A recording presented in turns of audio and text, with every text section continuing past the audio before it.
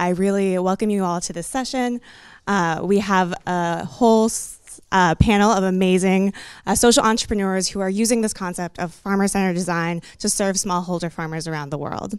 Our uh, moderator is Shalu Umapathy, Managing Director of IDEO's Economic Prosperity Practice, and herself an expert in human-centered design for social good. You can learn more about Shalu at skoll.org.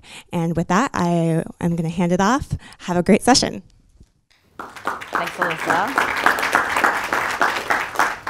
What's up, everybody? How's it going? Energized after lunch. We're going to keep you awake. You're going to be so excited. We have the most amazing panel here. So it's this is the this is the session to remember. Um, um, so I wanted to kick us off, kind of. So IDEO.org uh, is a human-centered design organization. So I wanted to kick off the session talking a little bit about what it means to do human-centered design, what we've done a little bit of, and what we've learned a little bit of at IDEO.org.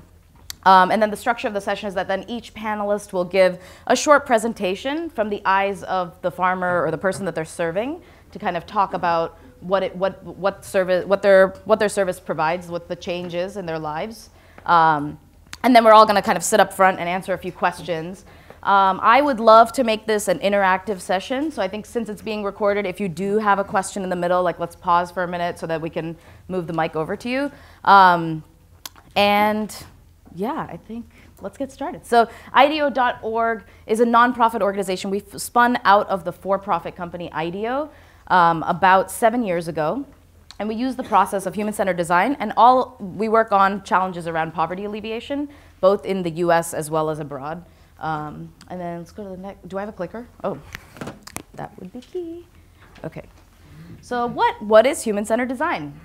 It's a creative approach to problem solving, one that starts with people and ends with solutions that are tailored to their needs.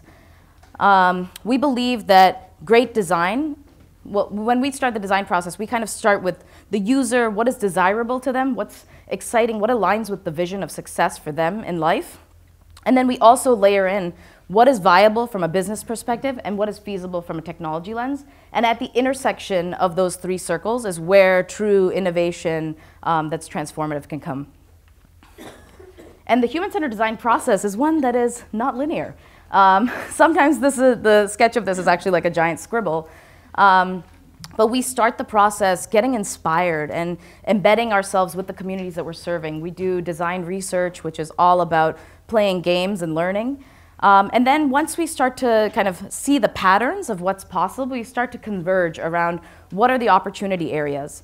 Um, once we've kind of identified a few different opportunity areas of what the solution might be, we then kind of go big again and, and brainstorm about what the possible kind of radical expressions of that solution might be. And then finally, once we've prototyped it and tested and iterated on it, we kind of converge on, uh, on the idea or the theme or the system that we believe will have greater success and put it out into the world. One of the things that we've learned a lot about is that the difference between what people say and do and what they think and feel. Um, there's a, a farmer example of when I, when I did an interview with a farmer and I was asking, um, what's the most important thing to being a farmer? And he said, uh, oh, it's like you have to teach me, and then it's the practice of learning, and then I can be a great farmer. And then I said, well, here's five dollars, or the equivalent of it. Um, are you are you going to go take a class? And he said, no, I'm going to go buy seeds. What are you talking about? So it's how do you get to the deeper level of what's what's real for them, what's immediate for them, what's important to them right now, and how does that align with the longer term vision? Um, I talked about how we use unique approaches in doing design research. Here's an example of a card sorting game where we talked to a farmer about what are the different ways of them connecting to market. So is it that they use an institution on the ground? Is it the dude with the truck? Is it, you know, what are the different ways? And then having them prioritize which is the most important to them, which is the most accessible to them, which one is their dream, and why is it not possible? And by using kind of games and something tangible to respond to, we find that in our research process, we can get to much deeper level conversations around what is broken in the system around them and what actually is part of getting to a solution. Prototyping is another thing that is my favorite part of the human-centered design process. We take kind of all the nuances of what we heard when we did research and start to get tangible about what, about what the solution might be. So on the left-hand side is an example of how we started to, it's in the adolescent reproductive health space, where we were trying to explain the different contraceptive methods to teens because there was like so many myths and misconceptions about what, what the reality was about each of the different methods. So we said, okay, what are some ways of bringing delight and fun, but real clarity around what each of those methods mean? The middle is a prototype with a partner in Nepal that provided maternal health services. And we learned that when it comes to caring for the newborn kids, it's actually the older siblings that take care of them. So how are we actually informing the older kids about the day-to-day health of their younger siblings? And so we just kind of built a, a learn by yourself um, tablet set of screens, stuck it on a water tank in, in the community, and just watched and saw what did people absorb, what did they learn by just interacting with this tab, this like kind of delightful thing in their community. And then once, based on what we learned, we could then refine and come up with an actual solution. And then on the left-hand side, or right-hand side, um, that's an example of a project where we worked on gender-based violence. And we were working with um, oh my gosh, I've forgotten the name, in Kenya. Um, but they, they have an amazing set of programs on the ground. And so one of the things they did was they said that there are many incidents of gender-based violence in their communities, but no one was reporting it because anonymity was really important. Responsiveness from the community workers was also really risky. If they did not respond, then were they not providing services? So one of the prototypes we tested was kind of a, a drop your note in the box of if you, in, if you encountered gender-based violence issue in kind of a corner of the community where no one would actually be able to see if you were kind of walking in and out. Um, so these are just ways of when, when, you're, when you know a problem, you know some of the examples of the circumstance around them, how do we prototype what the solution might be? And kind of bringing us back to the context of farmers, there's a kind of a few lessons that I wanted to share. Um, and many of you know this, so it won't be shocking, but the income expense mismatch. So farmers oftentimes put everything that they've got into getting to a great harvest, which means investing in great seeds and fertilizer. But then there's a pretty long horizon until they actually get the payback, and they actually don't know what the payback is going to be at the end of the harvest season.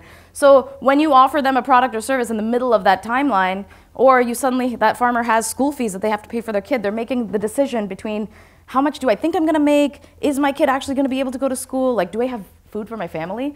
It's a really, um, I think that they do some of the most complex mental math that any, of any population I've ever had to see. Um, so that's been I mean, amazing to learn about. There's also this question of individual versus community that we kind of see an interesting tension between. So if I am going to participate in a program and earn a benefit, I, uh, it should be something that is offered to my community because I, it shouldn't be an individual, an individual should not get like, like identified and only invested in. Should be something, but I at the same time do not want to take the risk of my community on. There's like this kind of um, trying to think of an example. So we were doing a market connection program for farmers in Kenya where I was talking to a farmer about, well, what if the price of yours, your product was the same for everyone in your community so that we could kind of simplify the, the grading kind of process to, to be able to connect to market. And the farmer was like, no, no, no, because that lady that's two doors down, her crop is really bad and she would bring down the price of my crop. And then I said, but then so should she not be in the program? She said, no, no, no, everyone should be part of the program, but then the benefit. So there's this like interesting tension of community benefit, but also kind of individual, especially when it comes to money.